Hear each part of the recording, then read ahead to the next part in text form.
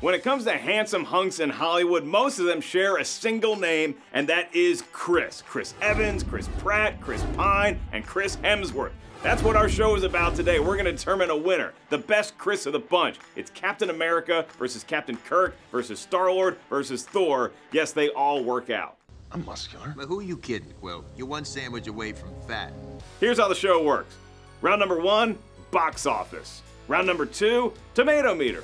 Round number three, best franchises.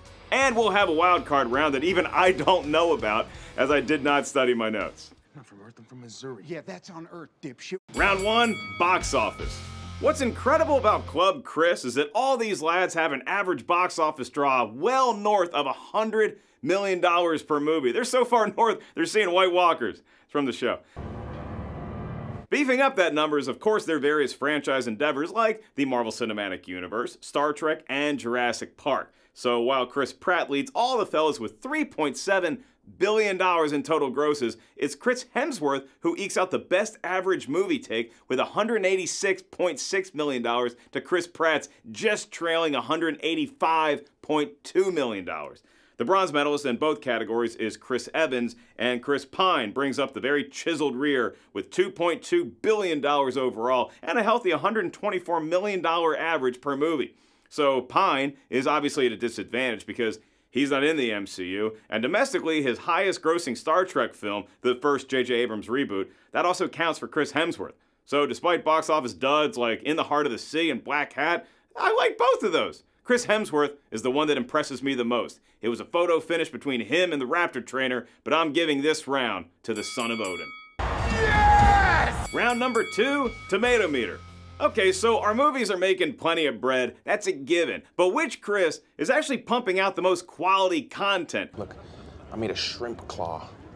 Now, you might think that the MCU clique has the advantage, but get this. None of the Marvel Chris's have one of those films as their highest rated on Rotten Tomatoes. Chris Evans has Snowpiercer, awesome train movie. Chris Pratt has the Lego movie, awesome is the trademark, and Chris Hemsworth has, you guessed it, Star Trek. Star Trek. He was in it for like nine seconds. Bruce Greenwood is quoted in the movie as saying to Chris Pine, Your father was the captain of the Enterprise for like three minutes or something. Your father was captain of a starship for 12 minutes.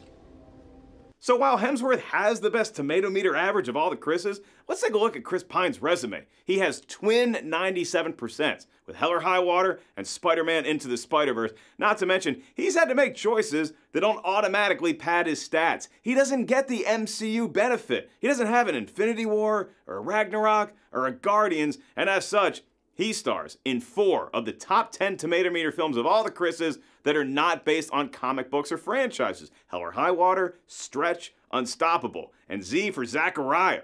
Well, that's neat. Chris Pratt puts up the best fight here, as he was also a part of three Best Picture nominees Moneyball, Zero Dark Thirty, and Her. But he wasn't the center of any of them. Yikes. So, Chris Pratt, thanks for helping us cap Bin Laden, but this round goes to Jimmy Tiberius Kirk, Chris Pine. Not perfect, but, but, but, but damn near close. Round number three, best franchises. Well, okay, that's enough non franchise talk. Look, I love range when it comes to an actor, and all these boys have it. But can you extend that acting range into multiple billion dollar franchises? Like, if Stan Lee or dinosaurs want you in their movies, can you deliver the goods? Chris Hemsworth can, if it's in the MCU. We all love Thor, but we love him more when he's sharing screen time with Hulk.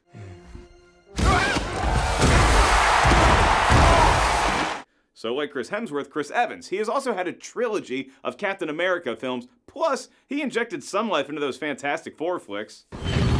It's clobbering time. I'm sure the cast and crew of those movies thought, you know, someday we're going to be used as a tiebreaker in a Rotten Tomatoes vid. Dream achieved, Fantastic Four. Chris Pine is carrying the water for the Star Trek franchise, but its future is in limbo. What? So this round is going to be all about Chris Pratt. No way!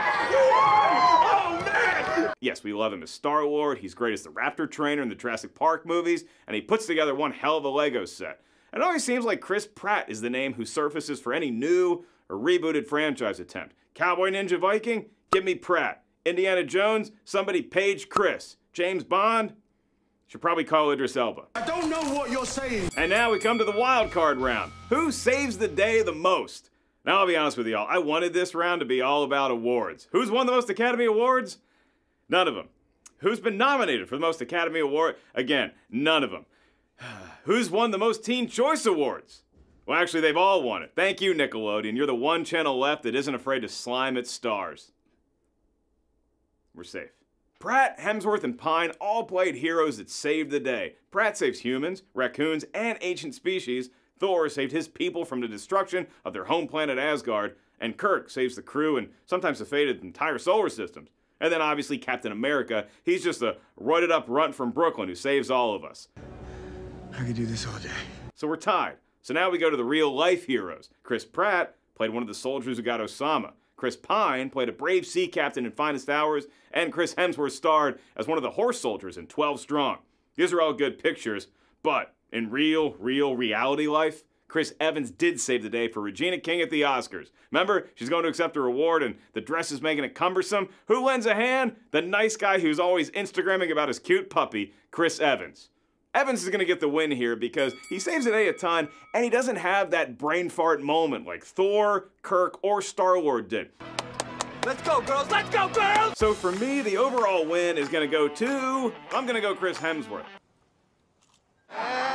I knew that was gonna happen. Big mistake. What the f, man? I was going to go Pratt because he can do everything action, drama, comedy. But I'm still upset about the Thanos thing. We had him. But hey, I look at the Chris's like they're my children. I love them all equally. So now it's your turn. Vote in the comment section right now. We're going to be checking the comments to see which Chris takes the belt. Whoever it is, I'm sure that belt's a size 32 waist. The gold standard.